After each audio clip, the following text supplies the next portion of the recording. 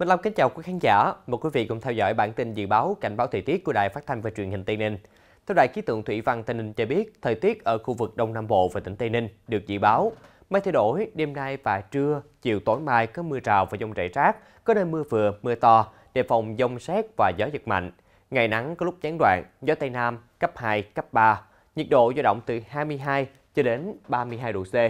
Và sau đây là thời tiết chi tiết các khu vực trong tỉnh. Khu vực phía Bắc tỉnh Tây Ninh, huyện Tân Biên và Tân Châu, mây thay đổi, đêm nay và trưa, chiều, tối mai có mưa, mưa rào, ngày nắng có lúc gián đoạn, gió Tây Nam cấp 2, cấp 3, nhiệt độ dao động từ 22 cho đến 32 độ C và độ ẩm là 99%.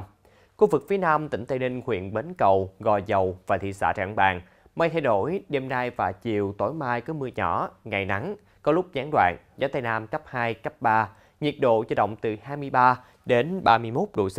và độ ẩm là 99%. Khu vực phía đông tỉnh Tây Ninh, huyện Dương Minh Châu, mây thay đổi, đêm nay và trưa, chiều mai có mưa rào nhẹ, ngày nắng, có lúc gián đoạn, gió Tây Nam cấp 2, cấp 3, nhiệt độ dao động từ 22 cho đến 32 độ C và độ ẩm là 98%. Khu vực phía Tây tỉnh Tây Ninh, huyện Châu Thành, mây thay đổi, đêm nay và chiều mai có mưa nhỏ, ngày nắng có lúc gián đoạn, gió Tây Nam cấp 2, cấp 3, nhiệt độ dao động từ 23 cho đến 31 độ C và độ ẩm là 100%. Khu vực thị xã Hòa Thành và thành phố Tây Ninh, mây thay đổi, đêm nay và trưa, chiều mai có mưa, mưa rào nhẹ, ngày nắng có lúc gián đoạn, gió Tây Nam cấp 2, cấp 3, nhiệt độ dao động từ 22 đến 31 độ C và độ ẩm là 100%. Mực nước cao nhất tại Gò Dầu, sông Vàm Cỏ Đông từ 0.90 cho đến 0.95 mét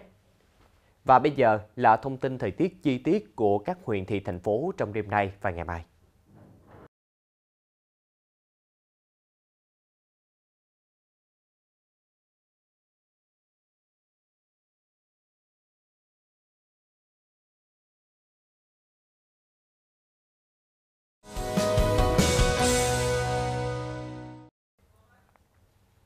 Thưa quý vị, từ ngày 18 tháng 9 đến ngày 5 tháng 10, trên địa bàn huyện Phù Yên, tỉnh Sơn La đã đồng loạt triển khai nhiều hoạt động thiết thực, ý nghĩa hưởng ứng chiến dịch làm cho thế giới sạch hơn năm 2024. Hoạt động đã thu hút gần 15.000 người hưởng ứng chiến dịch làm cho thế giới sạch hơn năm 2024. Theo lãnh đạo Phòng Tài nguyên và Môi trường huyện, hưởng ứng chiến dịch năm nay, Ủy ban dân huyện đã ban hành công văn chỉ đạo các đơn vị tổ chức cơ quan đoàn thể, Ủy ban dân các xã thị trấn căn cứ điều kiện nguồn lực để tổ chức các hoạt động hưởng ứng theo hướng dẫn của Bộ Tài nguyên và Môi trường.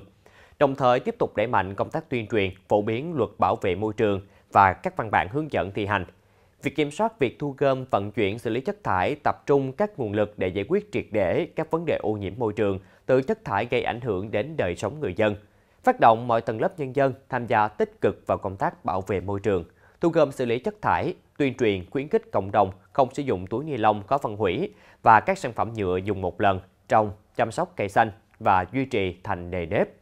Kết quả, tại khu vực trung tâm huyện và thị trấn Phù Yên, Trung tâm Truyền thông Văn hóa huyện đã thực hiện 3 đợt tuyên truyền lưu động, căng treo 4 băng son khẩu hiệu tuyên truyền về công tác bảo vệ môi trường, phòng chống rác thải nhựa. 150 cán bộ là lãnh đạo, công chức, viên chức các phòng ban chuyên môn, đơn vị sự nghiệp của huyện đã ra quân vệ sinh môi trường tại các trụ sở làm việc. Tại cấp xã, các hoạt động được triển khai lồng ghép cùng chương trình xây dựng xã đạt chuẩn nông thôn mới, nông thôn mới nâng cao, hướng tới huyện đạt chuẩn nông thôn mới. Qua số liệu tổng hợp từ các địa phương, có hơn 1.370 lượt người đã ra quân dọn dẹp vệ sinh môi trường, thu gom xử lý 120 mét khối rác thải, khơi thông 7.000 mét cống rãnh, làm sạch 50 km đường giao thông và các khu vực công cộng, trồng mới 1.210 cây xanh, căng treo 34 băng rôn tuyên truyền tại các trục đường chính nơi đông người qua lại. Đồng thời đã đổi mới phương thức tuyên truyền trên các trang mạng xã hội như Zalo, Facebook, TikTok và trên loa phát thanh của xã về các hoạt động bảo vệ môi trường, hưởng ứng chiến dịch làm cho thế giới sạch hơn. Đặc biệt, tại 69 trên 69 đơn vị trường học trên toàn huyện đã có hơn 13.400 lượt người tham gia vệ sinh môi trường, thu gom rác thải, vệ sinh các tuyến đường giao thông, khơi thông cống rãnh, trồng mới gần 1.500 cây xanh.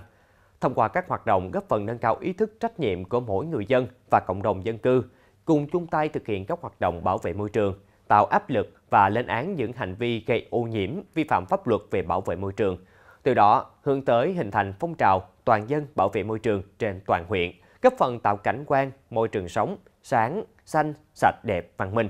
Quý vị thân mến, bản tin dự báo cảnh báo thời tiết hôm nay đến đây là hết. Cảm ơn quý vị đã quan tâm theo dõi. Xin kính chào tạm biệt.